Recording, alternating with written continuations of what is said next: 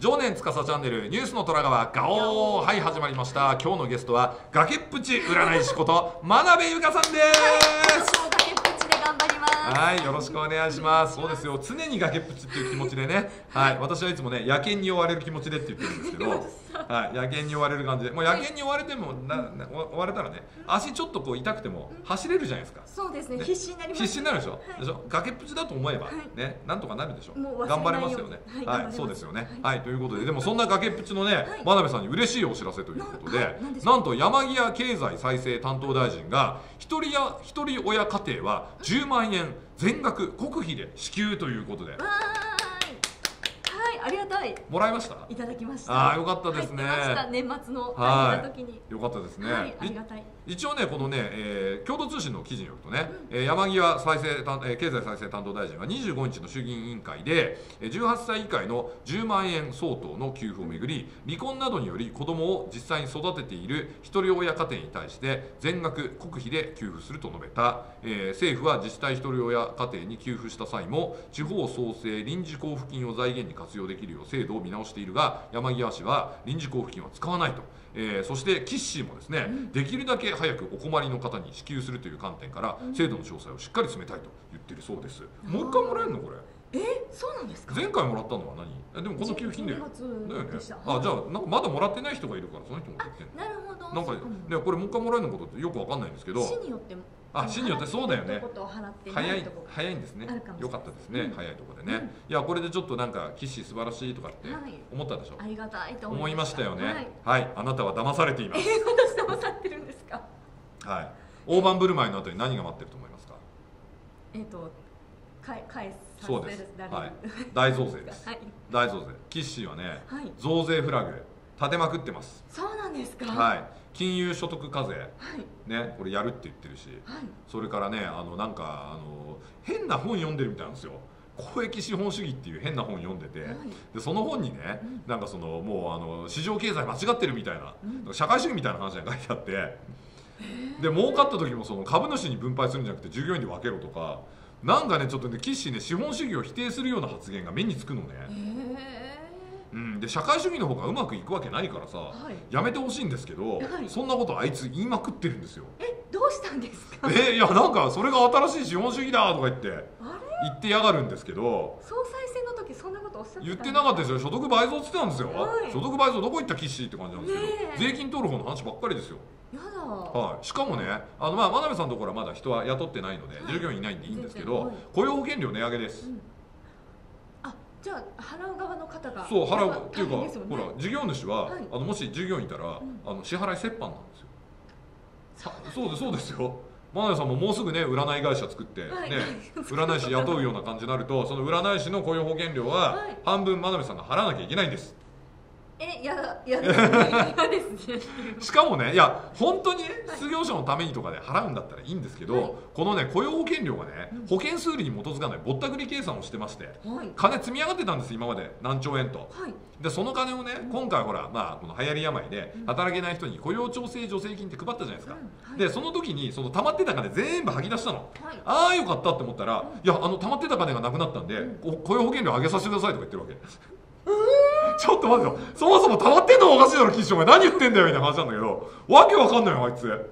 あいつとか言っちゃった。もういい加減にしろよ岸。そううん。本当とんでもないこと言ってます。本当ですね。はい。常念さんなんかもやっぱりこれは。これはねちょっとね、困りますよね。ややっぱそうなん嫌になっちゃうよね。嫌になっちゃいますね。うん。いや本当に必要だったらいいんだけど、はいその保険数に基づいてやんなきゃいけないし、うん失業率が下がった時は保険料も下げなきゃいけないんです。あなるほど。うん、だって基本的にはあれ付加方式なんで今いる失業者に今払ってる保険料がこういく感じになってるので、失業率が下がったら下げる上がったら上げるっていうふうにしないとうん。いけないんですけど、はい。そういうふうにやってないんですよね。えなんか一人親の人には配ってって言ってねねえ。他の人からはそうなんですよ。もらってって言ったらすいませんって思います。ねえ。まあそれであれでしょ金持ちから奪って、ん。えー貧しい人に配ってるんですっていうのかもしれないんですけど、うん。貧しい人に配ってるっていう金額がねすごいしょぼいの取る額に比べて。そうなんですか？そうですよ。だって今回ほら賃上げしたらさ、はい。あのなんか税金負けてあげますとか言ってるやつあるじゃん、うんあれとかもさ予算規模1000億円とかなのよ。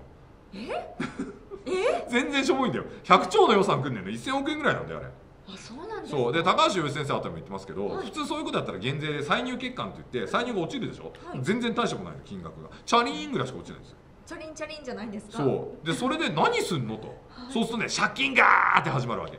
えもう勘弁してー、もうよなんかなんか負のスパイラル負のスパイラルですよ、ううん。んでキッシーはねだからね分かってないんですよね、うん。政府債務というのは、ね、あの未来への投資ですから、はい。基本的にね。うん。で交際の同マ条件というのがありまして、はい。一応俺経済評論家なんで、はい。ね、経経済の理論を説説明させていただくと、はい。交際の同マ条件というのがありましてね、えー例えばですね、えーじゃあ、えー真鍋さんが、はい。えー負債の金利だとします、はい。私が経済成長率だとします、はい。私の方が真鍋さんよりこうやって大きければ、うん。ね、そうすれば、ね、金利を埋めて余りあるお金が余るわけでしょ。はい。で金利を埋めて余りあるお金で元本返せるじゃないですか、はい。ね、いつかそれで借金ゼロになるでしょ、はい。ね、これが交際の同マ条件です。はい逆にあの、えー借金の支払いの方が、ねうん。成長率よりも大きい、はい。ね、と真鍋さんこういう状態の時には、はね、借金がどんどん増えちゃって、うん。収入はそんな増えないわけだから、はい。どんどんどんどん借金の方が増えていっちゃうでしょ、はい。これ債務が発散してうん。国家破産ということになるわけですよね。はい。なりはいますね、なのであの名目成長率と、うん。えーそれから、まあえーとまあ、名目交際利子率といっ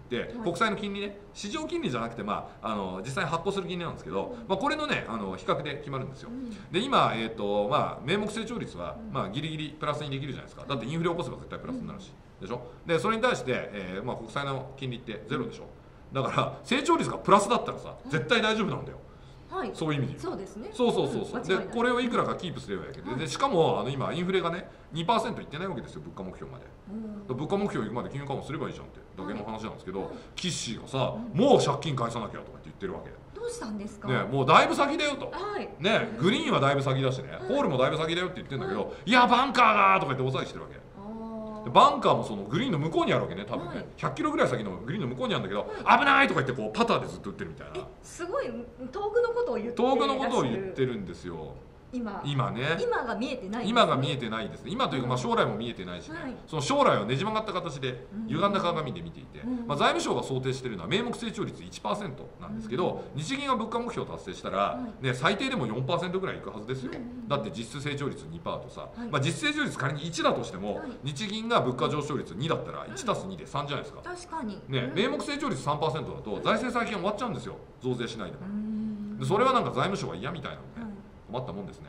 はい。はい、なので最近ねちょっとね朝日新聞ですらですね、うん。あのちょっと手のひらを返してきました。岸氏に対して。そうなんですか。はい、あの例のね流行り病のあのワクチンの問題でね、あの3回目の接種が全然進んでないじゃないかということで、はい。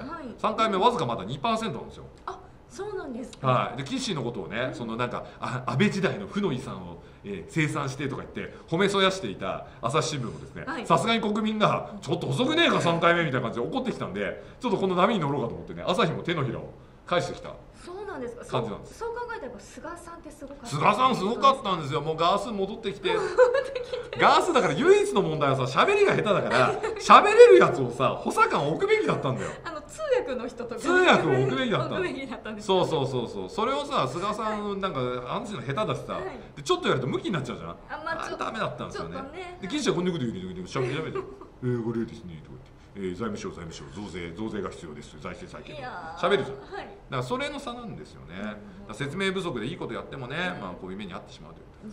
本当に残念。岸もういい加減にしてと、ねガス戻ってきて。ガスカンバークという感じです。まあ真鍋さんねちょっとあのはい。10万円もらってね、はい。岸の人いい人だなって思思いかけてたかもしれないですけど、はいこれからですよ。うん。これから景気悪くなると一番最初に影響を受けるのはこういうあの立場の弱い人ですからね。